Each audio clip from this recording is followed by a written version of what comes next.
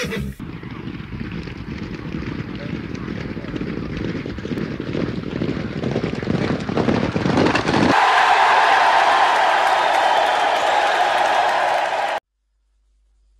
this is Mr. Gamble. It's Wednesday, the 31st of January, and today we are having a look at the 3 o'clock at Chelmsford, and the horse we're interested in is Time to Blossom.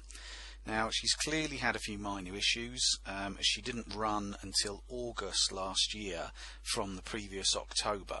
Um, but she did win that nicely, and that was over too short a trip. Um, then she ran again, uh, finished last, um, and had another three months off um, until she came out in January, about three weeks ago, and won very nicely again. Now, we clearly need to take it on trust that everything's fine, um, but I can't see why they'd be running her if it wasn't. Uh, assuming she's fit and well, she looks a good bet today. She can probably run to about 95 plus. Um, she's got an excellent claimer on board, uh, taking off another £5. Should give her around £15 in hand today.